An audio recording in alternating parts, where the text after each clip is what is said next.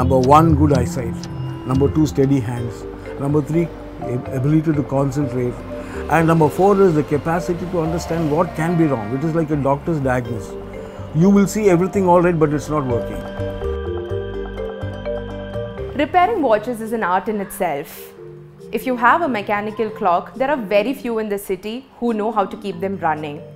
ಹಾಂ ನಮಸ್ಕಾರ ನಾನು ರಾಜ ಅಂತ ಈ ಅಂಗಡಿ ಓಪನ್ ಮಾಡಿ ಸಿಕ್ಸ್ಟಿ ಫೈವ್ ಇಯರ್ಸ್ ಆಗುತ್ತೆ So my name is Sheikh Mahmood.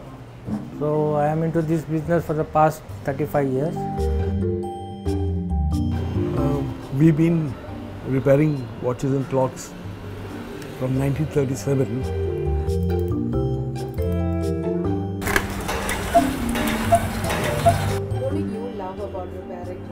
Oh, the mechanical aspect, I can't tell you. It's amazing the kind of precision that goes in and the kind of fine work that goes into it, the delicate side of this whole mechanism. It's uh, just amazing. For example, you know, there is a thing called hairspring.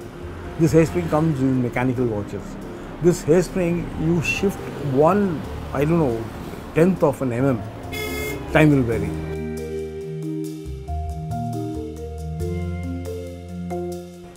See these clocks, no, people come bring this type of clocks.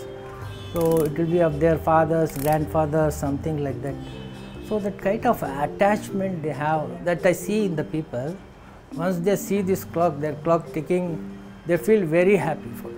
With the entry of quartz timepieces into the market, these antique pieces have disappeared from our walls and our wrists.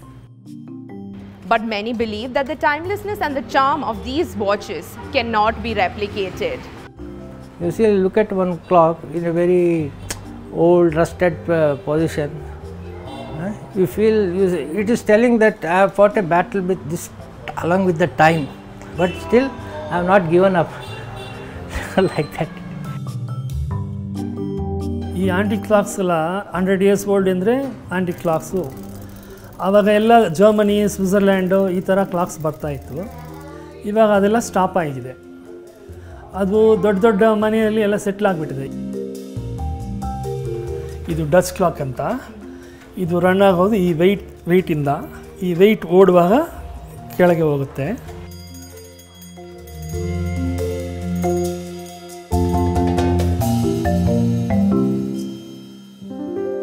Mysore Maharaja was running the palace.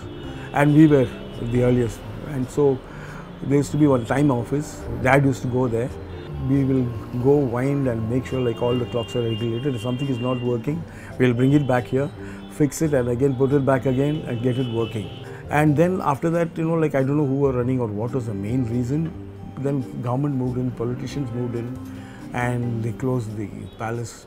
And that is how we stopped going So, what do you think is the future of the shop going to be like? I don't know. I'm keeping it open. To be honest with you, I have no clue at all. I'm only hoping that we will carry on as long as it's possible. ನನ್ನ interest ಅಂದರೆ ನಾನು ಇರೋವರೆಗೂ ಈ clock repairing ಮಾಡ್ತಾ ಇದ್ದೀನಿ I am thinking of opening a YouTube channel also, so that people uh, come to learn about this clocks simply.